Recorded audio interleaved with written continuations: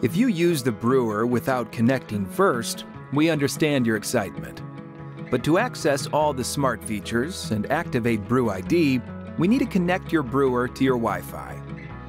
Make sure you have your Wi Fi password handy and that you've downloaded the Keurig app by scanning the QR code on the back of the brewer with your smartphone.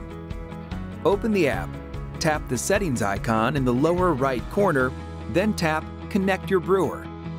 Then tap Get Started. Press and hold both arrow buttons to open the settings menu on your brewer. Then press the right arrow until you see the Wi-Fi settings screen. Then press the K button followed by the right arrow to get your brewer ready to connect.